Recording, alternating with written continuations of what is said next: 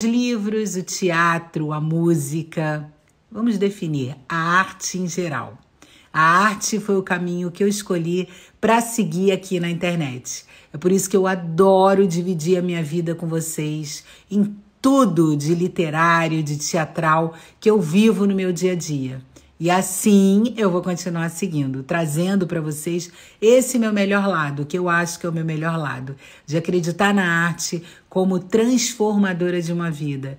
Acreditar que se a literatura mudou a minha vida, pode mudar a sua também. E assim eu começo a minha semana. Tô aqui trabalhando, ó, baguncinha aqui para trazer conteúdo para vocês no assunto que eu mais gosto de falar. Um dos acordos que eu tenho comigo nesse ano de 2023 é trazer para você que está aí do outro lado bastante informações sobre as minhas leituras, o andamento das minhas leituras. Sem querer fazer aquela competição de ai meu Deus, eu leio muito, porque eu acho que a qualidade da leitura é muito mais importante do que a quantidade. Se vocês acompanharam por aqui na Casa de Escritora, eu mostrei para vocês esse livro, A Chave de Casa, que foi Prêmio São Paulo de Literatura e Melhor Livro de Autor Estreante em 2008, da Tatiana Salem Levi. Um livro bem bacana, olha a quantidade de marcações que eu fiz. Inclusive, vou aproveitar e dividir com vocês o seguinte: olha como é que eu faço essas marcações. Eu compro essas coisinhas, né, de papelaria e eu corto, porque eu gosto de colocar uma tirinha um pouquinho mais fina. E vocês sabem que esse momento de ficar cortando, aí eu revejo o trecho que eu sublinhei, eu vou cortando de, de por exemplo, ah, li esse trechinho, aí eu vou e marco. Aí li esse outro, né? Porque aí eu vou sublinhando, ó, com lápis e depois eu marco direitinho o trechinho que eu gostei, tá vendo? E esse momento, assim, me dá uma tranquilidade, sabe? Depois dá uma felicidade ver o livro todo marcadinho, porque eu já sei que é um livro que eu vou poder sempre voltar nele e achar é, é, uma frase interessante, né? E poder até dividir com vocês. Vou ler aqui uma, olha. Você carrega o mundo nas costas? Ela me perguntou. Disse-lhe que sempre me perguntam isso, mas não, não é o mundo. Carrego meu passado, carrego uma história que não é minha e por isso estou aqui, na Turquia. Lembrando que a Tatiana Salem Levi é uma autora brasileira e eu gostei bastante. A personagem está passando por um momento difícil, é uma personagem densa, mas ela traz muitos trechos valiosos, muitas reflexões interessantes. Eu gostei bastante.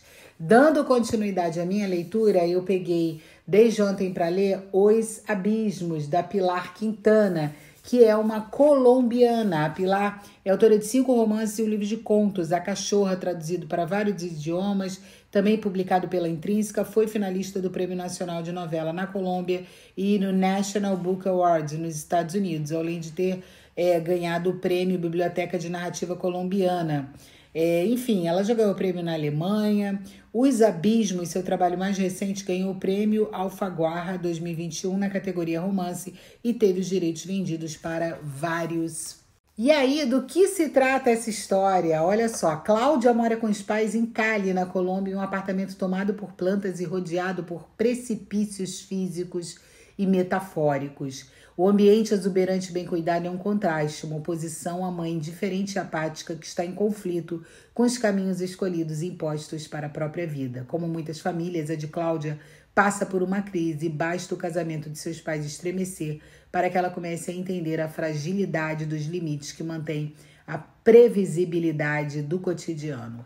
Bom, gente, a personagem é uma criança, então é a gente vai sabendo da, da vida desse casal é, através dessa criança. Eu tô gostando do livro, eu estou na página, deixa eu ver aqui, é 41. Já tem algo interessante nesse livro porque é essa selva né, da família, que é uma casa cheia de plantas, tem um trecho aqui que diz: Às vezes, ao andar pelo apartamento, eu tinha a impressão de que as plantas se esticavam para me tocar com suas folhas feito dedos e que as maiores, em um bosque atrás do sofá de três lugares, gostavam de envolver as pessoas que se sentavam ali ou assustá-las com um toque. Aí mais na frente ela diz: aos poucos o apartamento foi se enchendo de plantas, até se transformar em uma selva. Sempre pensei que a selva eram os mortos da minha mãe, seus mortos renascidos.